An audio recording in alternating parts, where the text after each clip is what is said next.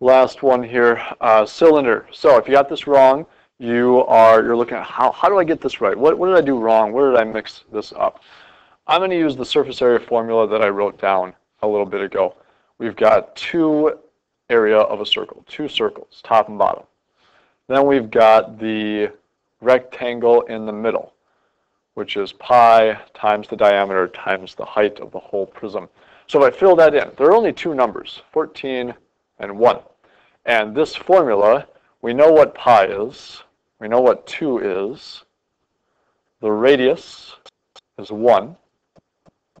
Again, we know what pi is.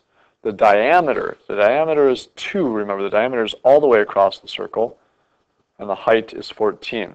And if you do 2 times 3.14 times 1 squared,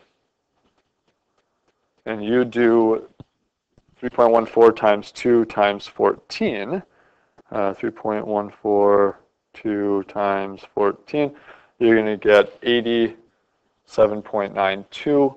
You add those together, we get 94.2 square units. And that's how we find the uh, surface area of that cylinder.